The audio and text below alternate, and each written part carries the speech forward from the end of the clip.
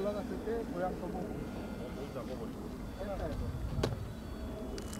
원래는 진짜 고양 크림이 있으면 더 좋은데 아우 좀